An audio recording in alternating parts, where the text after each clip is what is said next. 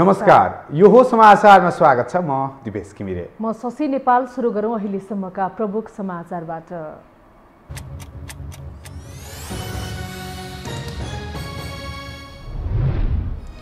एमाले विधान महाधिवेशनमा समूहगत छलफल सकियो। व्यक्ति नभए पार्टीको नीतिलाई स्थापित गर्नुपर्नेमा जोड। भोलि अध्यक्ष महासचिव र उपमहासचिवले जवाफ दिने। काठमाडौँमा काङ्ग्रेसको नगर अधिवेशनमा मतदान जारी पार्टी नेतृत्व परिवर्तन गर्न जरुरी रहेको नेता सिंहको भनाई जनताले भरोसा योग्य काङ्ग्रेसको नेतृत्व चाहिरहेको गगन थापाको दावी। छल कपटको बाटो लिएपछि केपी ओली विरुद्ध बमबारी गर्नु परेको प्रचण्डको भनाई एमालेको भण्डाफोर गर्न कार्यकर्तालाई निर्देशन ओलीकै कारण पार्टी एकता धरापमा परेको आरोप। लगानी योग्य रकम अभावका कारण अन्तर ब्याङ्किङ ब्याज दरमा प्रभाव निक्षेपमा कर्जाको अनुपात वात्तै बढ्यो। अन्य क्षेत्रमा चहल पहल बढे पनि होटल क्षेत्र भने अझै सुनसान। र Everest premier league T twenty क्रिकेटमा पोखराको जित। विराटनगर बाहिरियो भइरहवा र काठमाडौँको खेल भने वर्षाका कारण स्थगित।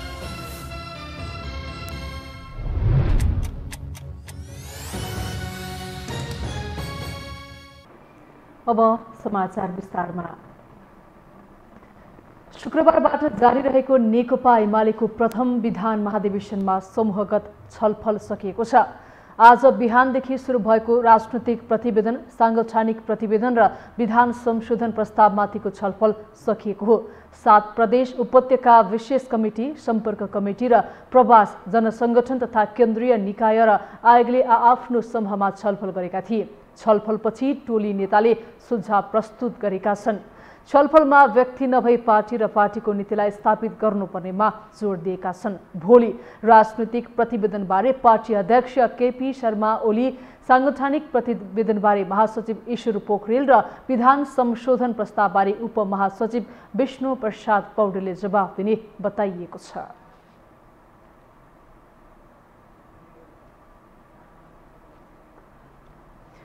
नेपाली कङ्ग्रेसको चौधौँ महाधिवेशन अन्तर्गत काठमाडौँ जिल्लाका दस स्थानीय तहमा आजबाट अधिवेशन सुरु भएको छ।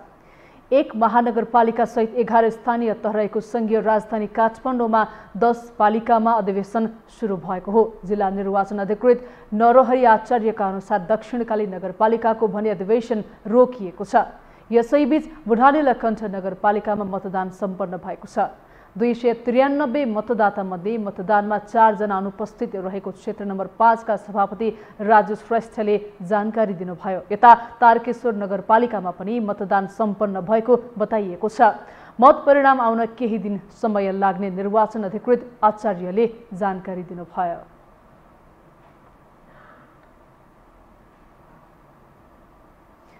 नेपाली कङ्ग्रेसका नेता प्रकाश मानसिंहले पार्टीको चौधौँ महाधिवेशनबाट पार्टी नेतृत्व परिवर्तन गर्न जरुरी रहेको बताउनु भएको छ। काङ्ग्रेस नेता सिंहले सभापति शेरबहादुर देउवालाई अवसर पाएर पनि काम गर्न नसक्ने नेताका रूपमा चित्रण गर्दै पार्टी नेतृत्वलाई परिवर्तन गरेर काङ्ग्रेसलाई सुदृढ बनाउनु पर्नेमा जोड दिनुभयो। शनिबार पार्टीको काठमाडौँ महानगरपालिका अधिवेशनको उद्घाटन गर्दै उहाँले अवसर पाएर काम गर्न नसक्ने नेतृत्वलाई अब निरन्तरता दिए सिङ्गो देशलाई नै नराम्रो हुने तर्क समेत गर्नुभयो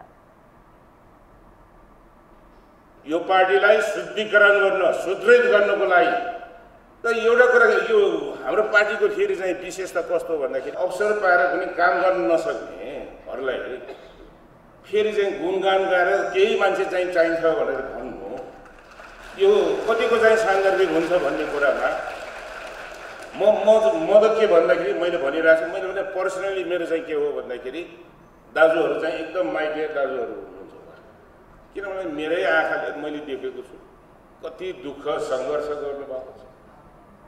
जेल जानुभएको छ। यति अप्ठ्याराका दिनहरू चाहिँ थिए नि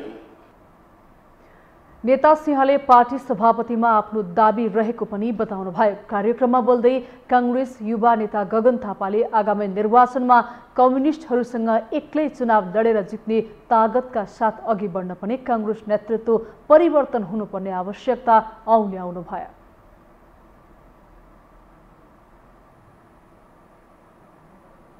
कोहीसँग मिलेर होइन एक्लै सब कम्युनिस्ट एक भएर आयो भने पनि सब फेरि एकपटक मधेसका पार्टी एक भएर आयो भने पनि जित्ने ताकत राख्ने गरिकन काङ्ग्रेसले आफ्नो सङ्गठन निर्माण गर्नुपर्नेछ। अबको पाँच छ महिनाभित्रमा सात आठ महिनाभित्रमा यो कुरा सोचेर पार्टीका साथीहरूले आफ्ना निर्णयहरू गर्दै गर्दा यसरी निर्णय गर्दिन पनि तपाईँले गर्नुहुन्छ भन्ने कुराको विश्वास व्यक्त गर्छु। हामीले चाहे वडामा निर्णय गरौँ चाहे महानगरमा निर्णय गरौँ चाहे जहाँ निर्णय गरौँ ती प्रत्येक निर्णयले एउटा अर्थ बोकेको हुन्छ। नेता थापाले नेपाली जनताले भरोसा योग्य काङ्ग्रेसको नेतृत्व चाहिरहेको दावी समेत गर्नुभयो।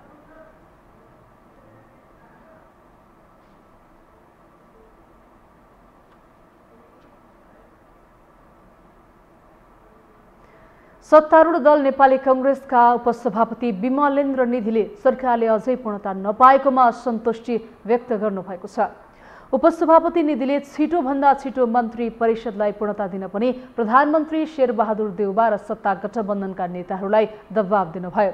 गान्धी जयन्ती तथा अन्तर्राष्ट्रिय अहिंसा दिवसको अवसर पारेर शनिबार काठमाडौँमा आयोजित एक कार्यक्रममा बोल्दै उहाँले एकासी दिन बित्दा समेत सरकारले पूर्णता नपाएकोमा दुःख समेत व्यक्त गर्नुभयो।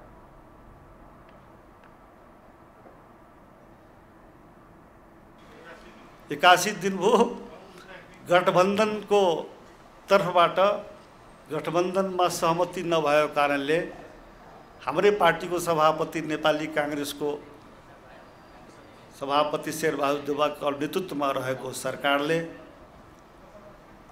मन्त्रीमण्डलको पूर्णता दिन सक्नु भएको छैन। म मन्त्रीमण्डल विस्तारको कुरा गर्दिनँ है फेरि हो। यहाँ साथीहरूले विस्तार र पूर्णतालाई एउटै अर्थमा प्रयोग गर्ने गर्नुहुन्छ। मन्त्रीमण्डल विस्तार कहिले हुन्छ भन्नुहुन्छ। मन्त्रीमण्डलले पूर्णता नै पाएको छैन के को विस्तार? त्यस कारणले मन्त्रीमण्डलले अझै पूर्णता नपाउनु भनेको यो साह्रै चिन्ता र दुःखको विषय हो। उपसभापति निधिले सरकारले पूर्णता पाउन अझै नसकेबाट सत्तारूढ गठबन्धन चुनावसँग मिलेर अघि बढ्न सक्छ कि सक्दैन भन्ने प्रश्न उठेको टिप्पणी गर्नुभयो।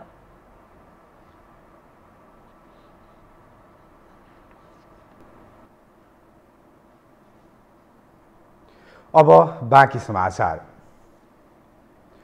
सरकार गठन भएको झन्डै तिन महिना पुग्न लाग्दा समेत मन्त्री परिषद विस्तार नगरेर सत्ता गठबन्धनले लाचरीको हद पार गरेको छ। जसले गर्दा सरकारको चौतर्फी आलोचना मात्र भएको छैन सत्ता गठबन्धनभित्रै असन्तुष्टि बढेको छ। एक रिपोर्ट। यसअघि सत्ता गठबन्धनका लागि राजनैतिक दल विभाजन सम्बन्धीको अध्यादेश नै मन्त्री परिषद विस्तार नहुनुको बहाना बनेको थियो। तर सोमबार सरकारले त्यो अध्यादेश पनि फिर्ता लिएपछि गठबन्धनको लाचारीपन देखिन थालेको छ। पाँच दलीय गठबन्धनको मोर्चा कसेर सत्तामा हाम फालेका दलहरूले सरकार गठन गरेको झन्डै तीन महिना पुग्न थाल्यो। केही दिनपछि सरकारले एक सय दिन पुरा गर्दैछ।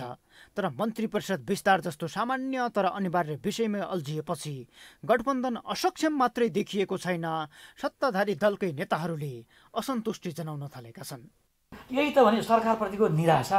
हामी यति ठुलो सपना बाँडेर यो यो अहिलेको सत्तारूढ दलको गठबन्धनले आफ्नो अवधारणा जारी गर्दा यति उत्साह थिए है के नै गर्छु जस्तो गरेर आएको थियो। जब सरकारसँग न्यूनतम साझा कार्यक्रम पुरा हुने कुरो छोडिदिउँ। आज अढाई महिना पुगिसक्दा पनि सरकारलेसँग पूर्णता नपाउने। आवश्यकता जनताको प्रेसर भइसकेपछि पहिलो त त्यो पाँचजनाको मन्त्रीमण्डल गठन हुँदै एकजना स्वास्थ्य मन्त्री पर्नु पर्थ्यो किन प्रायोरिटी कोभिड थियो। स्वास्थ्य मन्त्री धेरै प्रेसर भएपछि एउटा राज्य मन्त्री राख्यौँ। आज भोलि युएनमा उड्नुहुन्छ तपाईँ शपथ ग्रहण गरेर त सोझै एयरपोर्ट। सिङ्गो सत्तारूढ दलको कमजोरी हो तर सरकारको लिडरसिप जसले गरेर चाहिँ पहिलो कमजोरी उहाँकैमा आउँछ। पाँच दलीय गठबन्धनको नेतृत्व गर्दै कङ्ग्रेस सभापति शेरबहादुर देउबा असार उनातिसमा प्रधानमन्त्री बनेका थिए। त्यस यता कङ्ग्रेसबाट प्रधानमन्त्रीसहित तीन मन्त्री र एक राज्य मन्त्री सरकारले पाएको छ भने माओवादीको कोटाबाट दुई मन्त्री बनेका छन्। तर बाँकी रहेका सोह्र मन्त्रालयमा कङ्ग्रेस र माओवादी सहित नेकपा एकीकृत समाजवादी र जसपाका बीच भागभण्डा मिलाउनु पर्नेछ। जुन हालसम्म टुङ्गिएको छैन। केपी शर्मा ओली नेतृत्वको सरकारले जनभावना विपरीत काम गरेको भन्दै गठबन्धनका दलहरूले त्यसको अभाव मेटाउन सरकार बनाएका हुन्। तर विकल्पमा आएकाहरू झनै लाचारीपनको प्राकाष्ठ बनेपछि बाहना भन्दा अर्को उपलब्धि यो सरकारले दिएको छैन। किनकि लोकतान्त्रिक प्रक्रियाबाट सरकार बन्न थाले यता सोह्र मन्त्रालय यति लामो समय मन्त्रीविहीन भएको यो पहिलो पटक हो। अब यो चाहिँ ढिला चाहिँ भएको छ यो छिटो हुनुपर्ने हो। होइन हामी पनि त्यही पक्षमा छौँ। अब सरकार त छँदैछ तर यसले पूर्णता पाउनुपर्ने हो। केही टेक्निकल कारणहरू केही प्राविधिक कारणहरू केही व्यस्तताहरू केही नेताहरूको अस्वस्थताहरू यी तमाम कुराले गर्दाखेरि केही ढिला चाहिँ भएको छ। तर यो छिटोभन्दा छिटो टुङ्ग्याउनुपर्छ टुङ्गिन्छ। अब चाहिँ धेरै प्रतीक्षा गर्नुपर्छ या यो विषयमा जवाब दिइरहनु पर्ने स्थिति आउँदैन भन्ने मलाई विश्वास छ। एमालेबाट विभाजित माधव कुमार नेपालको पार्टी र जसपाको विवादलाई बहाना बनाएको गठबन्धनले त्यसयता अध्यादेशलाई बहाना बनाएको थियो। तर अध्यादेश पनि फिर्ता भएपछि हाल माधव कुमार नेपाल बिरामी भएर अस्पताल भर्ना भएको विषय गठबन्धनका लागि बहाना बनेको छ। जबकि नेपालको पार्टीबाट सरकारमा सहभागी हुने मन्त्रीहरू टुङ्गिएका छन्। तर प्रधानमन्त्री देउबा आफ्नै पार्टीभित्रको किचलो व्यवस्थापनले सङ्कटमा परेका छन्। माओवादी केन्द्रले आकाङ्क्षी धेरै हुँदा मन्त्रीको नाम दिएको छैन। उता आफै नेतृत्व गरेर सरकारमा जान खोजिरहेका जसपा अध्यक्ष उपेन्द्र यादवले समेत पार्टीभित्र सहमति नभएपछि मन्त्री परिषद विस्तारमा चासो देखाएका छैनन्। फलत लाचारीको अर्को नाम नै गठबन्धन बनेको छ। यो टेलिभिजनका लागि। क्यामेरामा डिबी मगरका साथमा सन्तोष भेके थापा काठमाडौँ। सत्ता साझेदार नेकपा माओवादी केन्द्रका अध्यक्ष पुष्पकमल दाहालले नेकपा एमालेसँग प्रतिवाद गरेर अघि बढ्न पार्टीका नेता कार्यकर्तालाई निर्देशन दिनुभएको छ।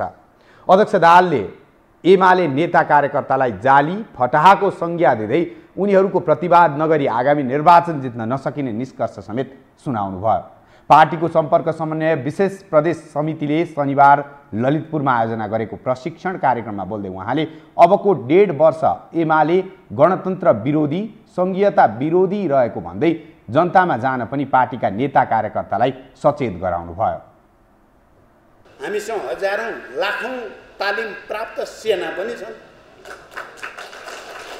क्रान्तिकारी स्पिरिट भएका साथीहरू पनि छन्। हामी किन डराउने? त्यहाँ मैले अब तपाईँहरूलाई अन्तिममा के भन्छु भने छाती खोलेर भन्नुहोस् हामीले ल्याएको हो यो गणतन्त्र। हाम्रो हो यो संविधान। हामीले गर्दा भएको यिनीहरू गणतन्त्र विरोधीहरूको होइन खबरदार भनेर तपाईँहरू भन्दै हिँड्नुहोस् घर घरमा। गाउँ गाउँमा टोल टोलमा। त्यस भएपछि हामीले चुनाव जित्छौँ। हामी एक नम्बर पार्टी हुन्छौँ र फेरि कम्युनिस्ट आन्दोलनका सबै क्रान्तिकारी धारहरू एकताबद्ध हुन्छौँ। अध्यक्ष दाहालले देशको रक्षा गर्न संविधानको रक्षा गर्न र गणतन्त्र बचाउनका लागि पनि एमाले विरुद्ध सशक्त ढङ्गले अघि बढ्नुपर्ने तर्क समेत गर्नुभयो। प्रचण्डले केपी ओलीले छल कपटको बाटो लिएपछि उनी विरुद्ध पार्टी हेडक्वार्टरबाटै बमबारी गर्नु परेको दोहोर्याउनु भयो। उहाँले काङ्ग्रेस सभापति शेरबहादुर देउवालाई प्रधानमन्त्री बनाउन आफूले धेरै दुःख गरेको बताउनुभयो उहाँले प्रतिनिधि सभा विघटन विरुद्धको आन्दोलनमा विजय भइसके आफू खुसी भएको प्रतिक्रिया समेत दिनुभयो जब त्यो प्रवृत्ति एउटा निरङ्कुश र प्रतिगामी प्रवृत्तिका रूपमा हामीले चिन्हित गरियो र त्यसका विरुद्ध विद्रोह गर्न पर्ने आयो हामीले विद्रोह गऱ्यौँ। अनि म फेरि शेरबारजी कहाँ गएँ म र माधव नेपाल अझ मुख्य रूपमा उपेन्द्र यादव पनि र हामीले फेरि शेरबारजीलाई तपाईँ प्रधानमन्त्री भइदिनुहोस्। हामी समर्थन गर्छौँ तपाईँलाई भन्ने ठाउँमा आइपुग्यो। राजनीति हेर्नुहोस् त बडो विचित्र छ नि।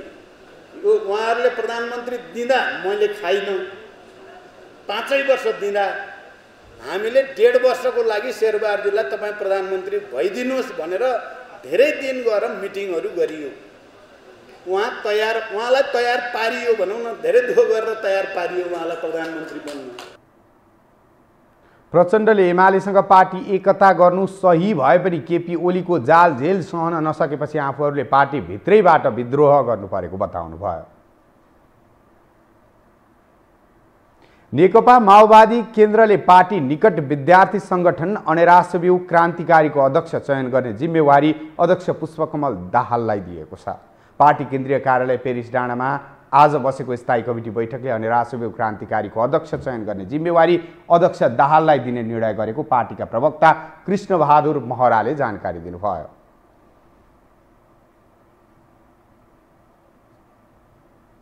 विद्यार्थीको राष्ट्रिय सम्मेलन चलिरहेको छ त्यसको नेतृत्वको चयनको विषय थियो। त्यसमा हामीले सम्भावित सबै पात्रहरू अहिलेको उपाध्यक्षदेखि लिएर हट्ने सबैको बारेमा छलफल गरियो। पात्रको ठोस भन्दा पनि सबै पात्रहरू समान हैसियतका छन् समान क्षमता राख्छन् र तीमध्येमा छनौट गर्ने अधिकार अध्यक्षले दियो। बैठकमा पार्टीको विशेष प्रदेश कमिटी एकानब्बेजनाको बनाउने प्रस्ताव पनि गरिएको छ। सो प्रस्ताव नेताहरूलाई अध्ययनका लागि दिइएको र अब बस्ने अर्को स्थायी कमिटी बैठकले त्यसबारे निर्णय गर्ने पनि प्रवक्ता महराले बताउनुभयो। पछिल्लो समय माओवादी केन्द्रका अध्यक्ष पुष्पकमल दाहाल प्रचण्डले पूर्व माओवादीहरू पुनर्गठित हुनुपर्ने बताउँदै आएका छन्। के प्रचण्डकै चाहना अनुसार पूर्व माओवादीहरू एक रहने सम्भावना छ त? एक रिपोर्ट। अनुमान र प्रक्षेपणभन्दा परका पात्र हुन् माओवादी केन्द्रका अध्यक्ष पुष्पकमल दाहाल प्रचण्ड। कति बेला रोइदिन सक्छन् कति बेला हाँसिदिन सक्छन् पत्तै हुँदैन। आजभोलि प्रचण्डको रोदन पूर्व माओवादी छिन्न भिन्न भएकोमा केन्द्रित छ र फेरि एक हुने सङ्कल्प पनि। हामी अहिले विभिन्न माओवादी धारामा रहेका हिजोका जनयुद्धका सहयोगीहरू सबैले आफ्नो आत्मसमीक्षा इमान्दारिता साथ मार्क्सवादी स्पिरिटको साथ गर्न तयार हुने हो र समाजवादप्रति इमान्दार भएर कार्यक्रम बनाएर अगाडि लाग्ने हो भने हामी अझै पनि यो देशको मुख्य शक्तिको रूपमा निर्णायक शक्तिको रूपमा अगाडि बढ्ने सम्भावना छ। त्यसकारण यसकारका कार्यक्रममा हामीले गर्नुपर्ने कमिटमेन्ट या प्रतिबद्धता भनेको हामी सबै आत्मसमीक्षाको लागि तयार हौँ। जसले अन्धकार हुँदा पनि मोर्चाको नेतृत्व सम्हालेर बाटो देखाउन सक्छ त्यही नेता हो। कुनै बेला त्यो गुण माओवादी केन्द्रका अध्यक्ष प्रचण्डमा थियो तर अहिले प्रचण्ड आफै अन्धकारमा छन्।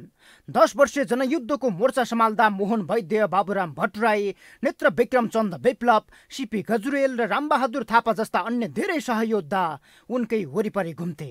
तर जनयुद्धको विश्राम र सत्ता राजनीतिको पदार्पणसँगै प्रचण्डको त्यो शक्ति क्रमशः रोदन र क्रन्दनमा बदलिएको छ। आजभोलि प्रचण्ड बेला बेला बरबराउँछन् कराउँछन् र आत्महत्यासम्मका अभिव्यक्ति दिन्छन्। जनयुद्धको जगबाट उठेका शक्तिहरू बितेको पन्ध्र वर्षमै छिन्न भिन्न भएपछि प्रचण्ड मात्रै एक्लिएनन् उनका सहयोद्धाहरूले समेत अलग अलग उद्देश्य र विचारको राजनीति गरिरहेका छन्।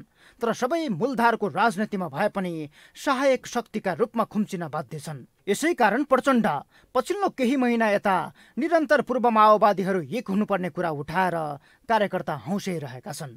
चाहे किरणजी हो चाहे विप्लवजी हो चाहे मोहन विक्रमजी हो चाहे बाबुरामजीहरू होस् ती सबैसँग हार्दिकतापूर्वक अन्तर्क्रिया बढाएर लानु हो हामी केन्द्रमा बढाइराखेका छौँ। प्रतिक्रियावादीहरूले आफूलाई सका पार्ने षड्यन्त्र गरेकाले त्यस विरुद्ध नयाँ खालको जनयुद्धको खोजी गर्नुपर्ने प्रचण्डको निष्कर्ष छ। यसका लागि पूर्व माओवादीहरूको साथ प्रचण्डका लागि अपरिहार्य छ। तर पूर्व माओवादीहरू एकै ठाउँमा आउने कुरा भावनात्मक मात्रै भएको टिप्पणी पूर्व सहयोद्धाहरूको छ।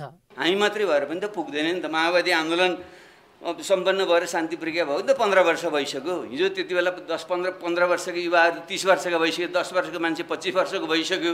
भने त्यत्रो नयाँ जनसङ्ख्या आएन तिनलाई समेट्नु परेन। हामीले मात्रै हिजोको मात्रै बस्छौँ हामी मात्रै गल्ल मिलाएर बस्छौँ भनेर हुन्छ।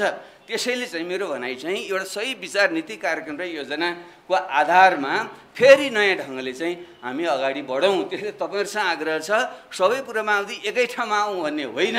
सबै पूर्व माओवादी नयाँ ठाउँमा जाउँ भन्नु पऱ्यो क्या। उत्पीडित वर्ग र समुदायका नाममा लडिएका युद्ध र सत्तारोहण पछिको राजनैतिक ध्रुव कर्मिक रूपले परिवारवाद र आफू केन्द्रित व्यक्तिको मोहमा फसेको छ।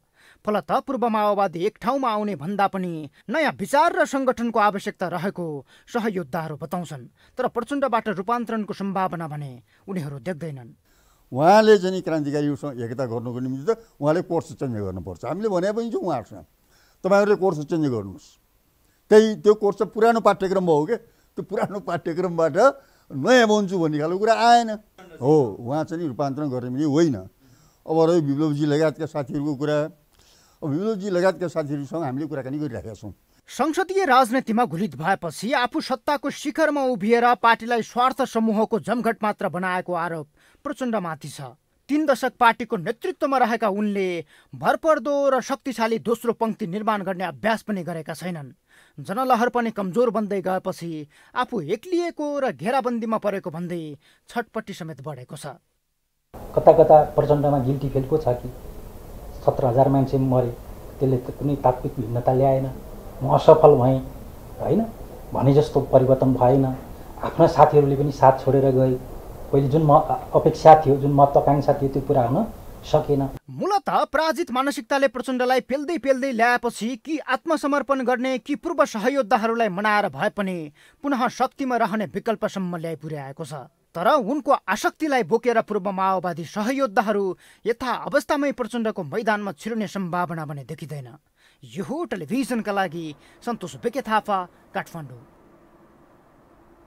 नेकपा एकीकृत समाजवादीका महासचिव बेदुराम भूषालले प्रमुख प्रतिपक्ष नेकपा एमाले संसद अवरुद्ध पारेर संविधानमाथि नै हमला गर्ने काम गरेको आरोप लगाउनु भएको छ। महासचिव भूषालले एमाले अदालतमा विचाराधीन मुद्दालाई विषय बनाएर संसद अवरुद्ध पार्नु गैर संवैधानिक र गैर कानुनी कदम भएको तर्क समेत गर्नुभयो। शनिबार काठमाडौँमा आयोजित एक साक्षरता कार्यक्रममा बोल्दै उहाँले सदन अवरुद्ध पार्ने कामले एमाले आफै जनताको माझमा नाङ्गिँदै गएको दावी समेत गर्नुभयो। दिएन त्यो चाहिँ मैले અહીં चर्चा गरिसकेँ। त्यो चाहिँ लोकतन्त्रमाथिको हमला हो संविधानमाथिको हला हमला हो त गैर जिम्मेवार अनैतिक कार्य हो त्यो उहाँहरूले गरिरहनु भएको छ। त्यो त्यसले उहाँहरू नाङ्गिनु पनि भएको छ। अब चलेन संसद भने त्यसको विकल्प खोज्नुपर्ने हुन्छ। त्यसका बारेमा अहिले कुनै पनि छलफल भएको छैन। सायद हामी गठबन्धनको बैठक अर्को बैठक बसेर त्यस सम्बन्धमा छलफल गर्छौँ होला। महासचिव भूषालले मन्त्री परिषदलाई पूर्णता दिने विषयमा सत्तारूढ गठबन्धनले पहिलो प्राथमिकता दिएको पनि बताउनुभयो। हामीसँग समाचार बाँकी नै छन्। अहिलेलाई विश्राम।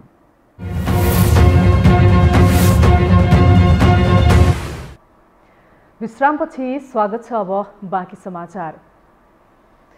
पछिल्लो चौबिस घन्टामा आठ सय सडसठीजनामा कोरोना भाइरस कोभिड नाइन्टिनको सङ्क्रमण पुष्टि भएको छ।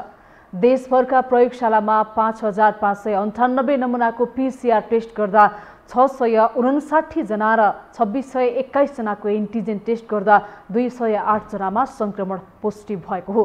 एघार सय तेइसजना भने सङ्क्रमणमुक्त भएको स्वास्थ्य तथा जनसङ्ख्या मन्त्रालयले जनाएको छ। हाल सत्र हजार छ सय बयालिस सक्रिय सङ्क्रमित रहेका छन्। पछिल्लो चौबिस घन्टामा नौजनाको कोरोना सङ्क्रमणबाट मृत्यु भएको छ। यससँगै कोरोना सङ्क्रमणबाट मृत्यु हुनेको सङ्ख्या एघार हजार एक सय सन्ताउन्न पुगेको मन्त्रालयले जनाएको छ।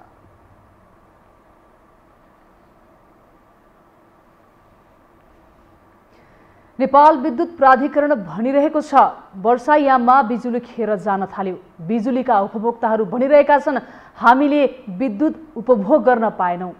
विद्युत आपूर्ति विश्वासिलो भएन झ्याप्प झ्याप्प बिजुली जाँदा भात काँचो हुने गरेको छ। जनताको माग र प्राधिकरणको काममा किन तालमेल मिलिरहेको छैन त? एक रिपोर्ट। नेपाल विद्युत प्राधिकरणका अधिकारीहरूले हालै बिजुलीको बजार खोज्न भारत पुगेर फर्के। यथा स्वदेशी उपभोक्ताले बिजुली नियमित नपाएको गुनासो गरिरहेका छन्। खाना पकाउन काठमाडौँमै पनि सात लाखभन्दा बढी घरमा एलपी ग्यास नै पहिलो रोजाइको ऊर्जा बनिरहेको छ। अन्यत्रको पनि स्थिति यस्तै छ। प्राधिकरणले बिजुली खेर गयो भनिरहँदा उपभोक्ता चाहिँ किन इन्डक्सन वा इन्फ्रारेड चुलोमा आकर्षित हुन सकिरहेका छैनन् त? के एलपी ग्यास भन्दा प्राधिकरणले बेच्ने बिजुली महँगो भएको हो त? चौबिस घन्टा जबसम्म बिजुली चाहिँ प्राधिकरणलाई हामीलाई दिँदैन। त्यो बिजुलीमा सस्तो भएर पनि जनताले पकाउँदैन म नेपालीले भात पकाउने भने कहिले? साढे सात बिहानदेखि साढे आठभित्र हो होइन? बेलुका पनि त्यही टाइम हो। अब हेर्नुहोस् त अहिले लोड सेडिङ छैन ठिक छ। तर तपाईँले आफैले एक्सपिरियन्स गर्नुभएको छ नि भात पकाउने टाइममा हप्ताको सात दिनमा तिन चार दिन त बत्ती फुवाक फुवाक गइरहेको हुन्छ कि? यदि एक हजार वाट प्रयोग हुने गरी एक घन्टा इन्फ्रारेड चुलो प्रयोग गर्ने हो भने एक युनिट बिजुली खपत हुन्छ। प्रति युनिट बाह्रका दरले बिहान र बेलुका एक एक घन्टा सो चुलो चलाउँदा दिनमा चौबिस रुपियाँ र महिनामा सात सय बिस रुपियाँ खर्च हुन्छ। काठमाडौँमा डेरावालाहरूसँग प्रति युनिट पन्ध्र रुपियाँ लिने चलन छ। यो हिसाबले महिनाको नौ सय रुपियाँ खर्च हुन्छ। यता ग्यासको मूल्य प्रति सिलिन्डर चौध सय पचास रुपियाँ छ। एक सिलिन्डर ग्यासले डेढ महिना जति पुग्छ अर्थात् विद्युतबाट खाना पकाउँदा डेढ महिनामा बढीमा तेह्र सय पचास खर्च हुन्छ भने ग्यासबाट चौध सय पचास। नेपाल विद्युत प्राधिकरणले नयाँ दर रेट निर्धारण गर्न विद्युत नियमन आयोगमा सिफारिस गरिसकेको छ। अहिलेको महसुस दरलाई महँगो मानिएको छ महँगै दरमा पनि ग्यास भन्दा विद्युत सस्तो देखिएको छ। विज्ञहरू भन्छन् विद्युतबाट खाना पकाउँदा सस्तो पर्छ तर यो नियमित छैन भर पर्न सकिएको छैन। एक हजार वाट एक घन्टा चलायो भने एक युनिट खपत हुने हो। एक किलो वाट आवर भनेको केडब्लुएच वान केडब्लुएच भनेको एक युनिट हो होइन? नेपाल विद्युत प्राधिकरणले लागू गर्ने भनेको नयाँ विद्युत महसुल दरमा ग्राहस्थ उपभोक्तालाई प्रति युनिट नौ रुपियाँ पचास पैसा प्रस्ताव गरिएको छ। त्यो वा यो भन्दा पनि कम महसुल दर कायम हुन सक्यो भने घर घरमा विद्युत उपभोग बढ्न सक्छ। यसले वार्षिक सडतिस अर्बभन्दा बढीको एलपी ग्यास आयातलाई कम गर्ने आशा गर्न सकिन्छ। अब बाँकी समाचार। कोरोना सङ्क्रमणको जोखिमसँगै बन्द भएका धार्मिक आस्थाका केन्द्रहरूमा केन्द्रहरू बिस्तारै खुल्न थालेका छन्। बौद्ध मार्गीहरूको आस्था र श्रद्धाको केन्द्र रहेको लुम्बिनीमा आन्तरिक र बाह्य पर्यटकको बिस्तारै चहल पहल सुरु भएको हो। गएको साउनदेखि नै लुम्बिनी क्षेत्र खुला गरिए पनि नेपाल सरकारले अन अराइभल भिसा खुल्ला नगरेका कारण नेपाल बाहिरका पर्यटक आउन सकेका थिएनन्। अहिले आन्तरिक पर्यटकको साथै विदेशी पर्यटक आउन थालेका छन्। लुम्बिनी विकास कोषको कोषका सदस्य सचिव सानु राजा साक्यले लुम्बिनी भ्रमणमा आउने पर्यटकको सङ्ख्या अहिले न्यून भए पनि नेपाल सरकारले अन अराइभल भिसा दिन सुरु गरेकाले अब पर्यटकको अनुगमन आगमन बढ्ने विश्वास व्यक्त गर्नुभयो। हाम्रो नेपाली पर्यटकहरू आन्तरिक पर्यटकहरू धेरै ठुलो सङ्ख्यामा त आइसकेको छैन। केही सुरुवातहरू भएको छ। तर यसलाई अब हामीले गति दिनुपर्छ। अब दसैँ लगत्तै तिहार लगत्तै अब लुम्बिनी घुम्न आउने आन्तरिक पर्यटकहरू पनि बढ्छन्। हामीले आशा गर्छौँ अब नेपाल सरकारले अन अराइभल भिसा पनि खोलिसकेको कारणले गर्दाखेरि अब विदेशी पर्यटकहरू पनि पक्कै पनि आउँछ होला। त्यस्तो अवस्थामा हेल्थ प्रोटोकललाई हामीले कायम राख्दै हामी लुम्बिनीलाई पर्यटकहरूको लागि खुल्ला भएको सन्देश हामीले गएको यो वर्ल्ड टुरिज्म डेमा पनि हामीले पठाएका छौँ। लुम्बिनी विकास कोषले विश्व पर्यटन दिवसको दिन लुम्बिनी क्षेत्र खुला रहेको सन्देश विश्वभर पठाएको जानकारी दिएको छ।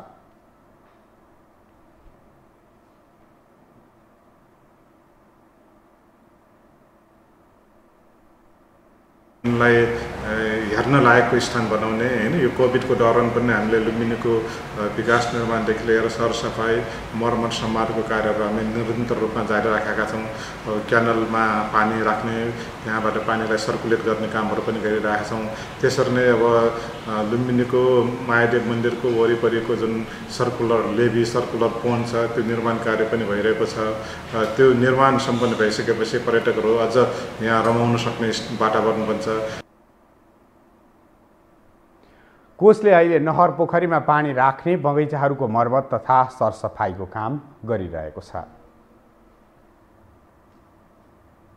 सरकारको व्यवस्थाका कारण कोइलालीको चुरे गाउँपालिकाका पहिरो पीडित परिवार अझै बिचल्लीको अवस्थामा छन्। दुई वर्ष अघि गएको पहिरो पीडित अहिलेसम्म जङ्गलमै बसिरहेका छन्।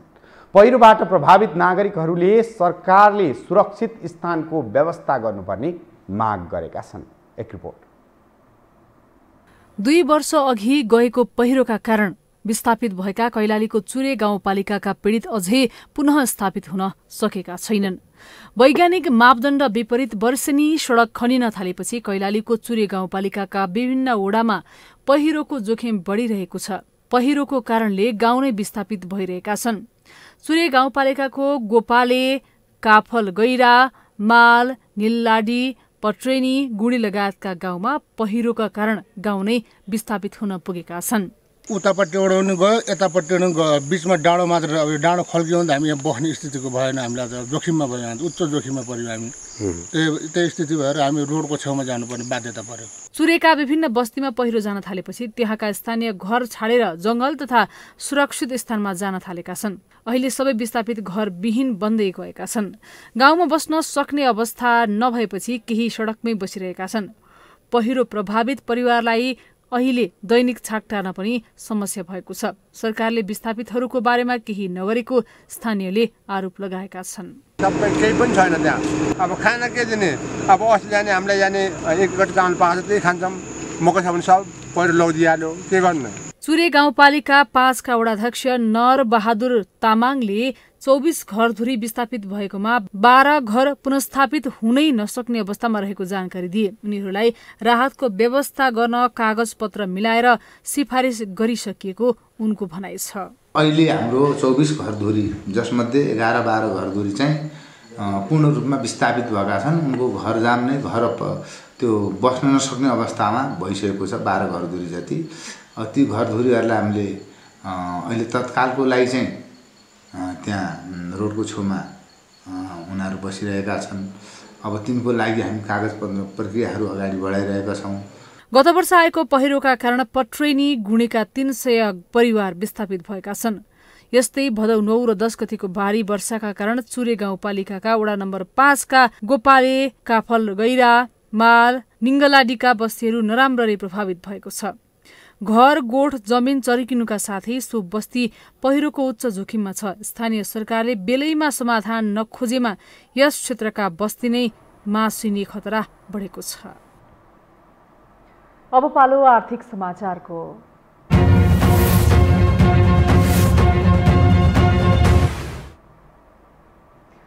लगानीयोग्य रकम अभावका कारण यति बेला ब्याङ्किङ क्षेत्रमा त्रसित भएको छ। जसको असरले निक्षेपमा कर्जाको अनुपात पनि वात्तै बढेको छ भने अन्तर ब्याङ्किङ ब्याजदरमा पनि प्रभाव परेको छ। एक रिपोर्ट। वित्तीय प्रणालीमा तरलता अभावको चाप बढिरहेको छ। तरलताको अभाव भएसँगै अन्तर ब्याङ्किङ ब्याज वात्तै वृद्धि भएको छ। अहिले अन्तर ब्याङ्किङ ब्याज अन्तिम बिन्दु पाँच प्रतिशतमै आइपुगेको छ। पछिल्लो तथ्याङ्क अनुसार अन्तर ब्याङ्क कर्जाको ब्याज चार दशमलव नौ पाँच प्रतिशत पुगेको छ। यस्तो ब्याज पाँच प्रतिशतभन्दा बढी बढाउन मिल्दैन। अहिले ब्याङ्कहरूको निक्षेपमा कर्जाको अनुपात सिडी रेसियो पनि अठासी नागेको छ। नियमअनुसार सिडी रेसियोको सीमा भने नब्बेभन्दा ननाग्नु पर्नेमा अहिले अठासी दशमलव दुई पाँच पुगेको हो। केन्द्रीय ब्याङ्कले कर्जाको अनुपात गणना गर्ने विधि परिवर्तन गर्नाले अझै ब्याङ्किङ क्षेत्रमा असर पुगेको विश्लेषण भइरहेको छ। गत भदौ यता बजारमा तरलता अभाव बढेको महसुस भयो। ब्याङ्कहरूले नै तरलता अभाव निकै बढी भएको सूचना दिए। भदौ अन्तिमसम्म सरकारले संसदबाट विनियोजन विधेयक पारित गर्न नसकेपछि गभर्मेन्ट सटडाउनको स्थितिमा आइपुग्यो। करिब एक साता सरकारले कुनै पनि किसिमको खर्च गर्न नपाएपछि वित्तीय प्रणालीमा अझै तरलता अभाव चुलिएको थियो। तरलता व्यवस्थापनकै लागि नियामक निकाय नेपाल राष्ट्र ब्याङ्कले चालु आर्थिक वर्ष सुरु भएपछि झण्डै एक खर्बको रिपो जारी गरेको छ। पछिल्लो पटक यही असोज सात गते तीस अर्बको रिपो जारी गरेको छ। यसअघि भदौ अन्तिममा बिस अर्बको रिपो जारी गरेको थियो। उक्त रिपो असोज चौध गते मात्रै परिपक्व हुनेछ। तरलतामा भदौदेखि नै चाप परे पनि यसअघि गत भदौ सत्र गते बिस अर्ब बराबरको सात दिने भदौ चौबिस गते तीस अर्ब बराबरको सात दिने रिपो जारी गरेको थियो। नेपाल राष्ट्र ब्याङ्क सबै वाणिज्य ब्याङ्कहरूले रिपो लिने नगरेको बताउँछ। राष्ट्र ब्याङ्कका सहप्रवक्ता नारायण प्रसाद पोखरेलका अनुसार अहिले बजारमा रहेका सत्ताइसवटा मध्ये रेगुलर सोह्र सत्रवटा वाणिज्य ब्याङ्कले रिपो लिने गरेका छन्।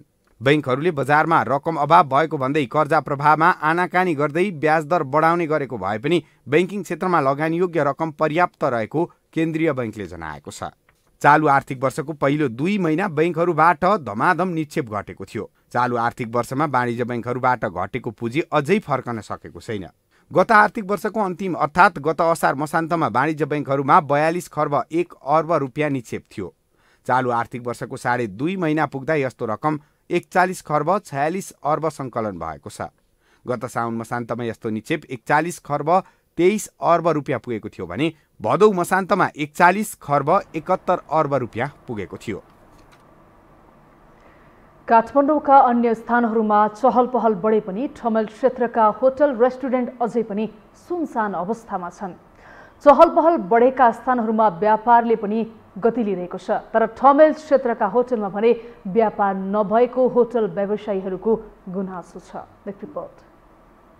लकडाउन र निषेधाज्ञाका कारण लामो समय बन्द रहेका होटल रेस्टुरेन्ट व्यवसाय पुनः सञ्चालनमा आए पनि सुनसानै छ। काठमाडौँका विभिन्न ठाउँमा सञ्चालनमा आएका होटल रेस्टुरेन्ट ग्राहक नआउँदा व्यवसायहरू मर्कामा परेका छन्। कोरोनाका कारण झण्डै दुई वर्ष व्यापारमा घाटा बेहोरेका होटल व्यवसायले सरकारको निर्णयसँगै पुनः व्यवसायमा फर्किएका थिए। तर व्यापार शून्य हुँदा दैनिक खर्च पनि धान्न नसकेको उनीहरूको गुनासो छ। सामान्य अवस्थामा यति बेला काठमाडौँका होटलहरू भरिभर हुने गर्थ्यो तर अहिले सिजनमा समेत व्यापार शून्य हुँदा व्यवसायहरू चिन्तित बनेका छन्। अहिले चाहिँ बिस्तारै बिस्तारै अब सुधार हुँदै गएको छ। त्यही हो अब पहिलाभन्दा अहिले अलि राम्रो हुँदै गएको छ। घाटा त भनेर साथै छैन नि अब कसैले अब दिने पनि होइन अब त्यो आफ्नो समस्या आफैलाई थाहा छ अब। हाम्रो चाहिँ विशेष गरी अब लोकल हो होइन। टुरिस्टको लाइनमा चाहिँ अलिकति गाह्रै छ। हाम्रो लोकल भएर चाहिँ अलिकति अहिले चाहिँ अलिकति सहज भएको छ। अहिले पनि अब खासै त्यस्तो राम्रो त छैन विगतकोहरू जस्तो होइन मान्छेहरूले पनि अब अलिअलि डढाउने यताउतिहरू चाहिँ अलिक कमै छ। त्यस्तो राम्रो चाहिँ छैन। घाटाको त अब दुई वर्ष जस्तै नै भयो होइन। अब लस त अब सबै चिजहरू राम्रोसँग खोलेको पनि थिएन। घाटा त घाटा नै भयो। कोरोना महामारी नियन्त्रणका लागि सरकारले गरेको लकडाउन र निषेधाज्ञाका कारण काठमाडौँमा रहेका होटल व्यवसायी दुई वर्ष यता ठप्प थिए अहिले प्राय सबै होटलहरू खुलेका छन्। ठमेल क्षेत्रको होटलमा पर्यटक नै नआएपछि सुनसानै छ। होटल व्यवसाय क्षेत्रको व्यापार विगतमा जस्तो हुन नसकेको व्यवसायहरू बताउँछन्। ग्राहकको चाप कम भएका कारण पनि होटलको व्यापारमा असर परेको उनीहरूको गुनासो छ। खासै त्यति राम्रो त छैन। कोरोनाको कारणले गरेर व्यापार चाहिँ अलिक चौपटै छ। पहिला जस्तो छैन। अब कोरोना भनेको छ के भनेको छ के भनेको छ त्यति मान्छेहरू हिँडुल पनि छैन।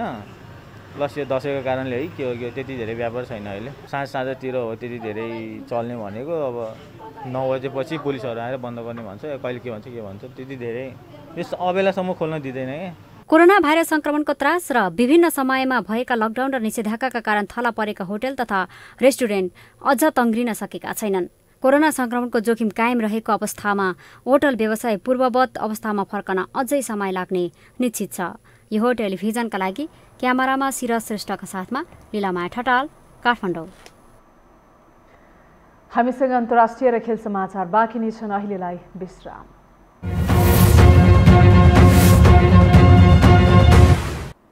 विश्रामपछि स्वागत छ अब पालो अन्तर्राष्ट्रिय समाचारको।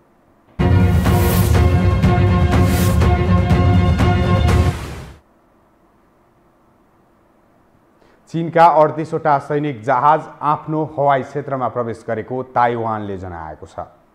चीनले आफ्नो हवाई क्षेत्र उल्लङ्घन गरेर सैनिक विमान उडाएको यो अहिलेसम्मकै ठुलो घटना भएको ताइवानले दावी गरेको छ। दुई चरणमा परमाणु क्षमतायुक्त बम र जहाजसहितका चिनिया विमानहरू आफ्नो हवाई क्षेत्रमा प्रवेश गरेको ताइवानको रक्षा मन्त्रालयले जनाएको छ। चिनिया जहाजहरू आफ्नो हवाई क्षेत्रमा प्रवेश गरेपछि ताइवानले आफ्नो विमान उडाउनुका साथै मिसाइल प्रणाली पनि तैनात गरेको बिबिसीले जनाएको छ।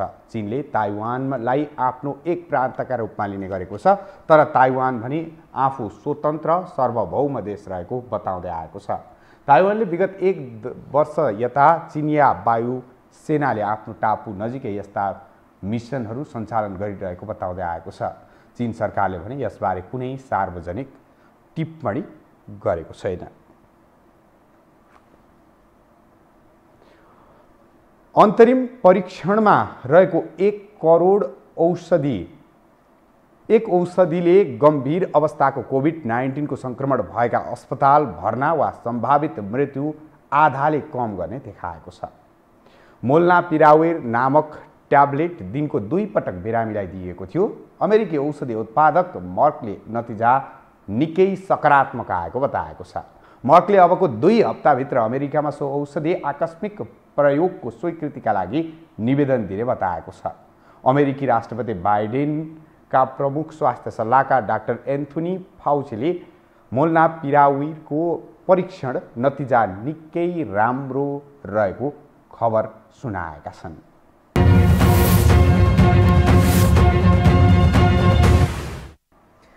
विराटनगर चौथो संस्करणको Everest premier league EPL T twenty cricket प्रतियोगिताबाट बाहिरिएको छ। आज भएको खेलमा पोखरा राइनोसँग सात विकेटले पराजित हुँदै विराटनगर एक खेल अगावै बाहिरिएको हो।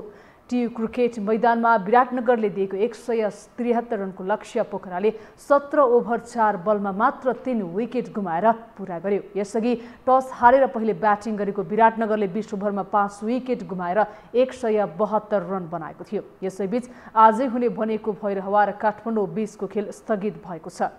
टियु क्रिकेट मैदान वर्षाले भिजेको कारण खेल गराउन नसकिने भएपछि भैरहवा र काठमाडौँ बिचको खेल स्थगित गरिएको हो।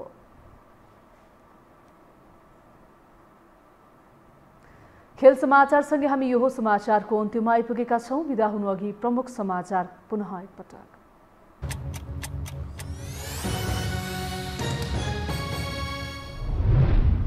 एमाले विधान महाधिवेशनमा समूहगत छलफल सकियो। व्यक्ति नभई पार्टीको नीतिलाई स्थापित गर्नुपर्नेमा जोड भोलि अध्यक्ष महासचिव र उपमहासचिवले जवाफ दिने। काठमाडौँमा काङ्ग्रेसको नगर अधिवेशन मतदान जारी। पार्टी नेतृत्व परिवर्तन गर्न जरुरी रहेको नेता सिंहको भनाई जनताले भरोसायोग्य काङ्ग्रेसको नेतृत्व चाहिरहेको गगन थापाको दावी। छलकपटको बाटो लिएपछि केपी ओली विरुद्ध बमबारी गर्नु परेको प्रचण्डको भनाई एमालेको भण्डाफोर गर्न कार्यकर्तालाई निर्देशन ओलीकै कारण पार्टी एकता धरापमा परेको आरोप। लगानी योग्य रकम अभावका कारण अन्तर ब्याङ्किङ ब्याज दरमा प्रभाव निक्षेपकर्ताको अनुपात ह्वात्तै बढ्यो अन्य क्षेत्रमा चहलपहल बढे पनि होटल क्षेत्र भने अझै सुनसान। र Everest premier league T twenty क्रिकेटमा पोखराको जित विराटनगर बाहिरियो भैरहवा र काठमाडौँको खेल भने वर्षाका कारण स्थगित।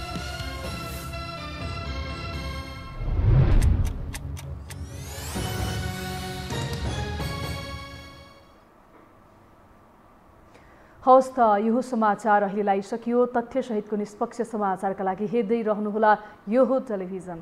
नमस्कार।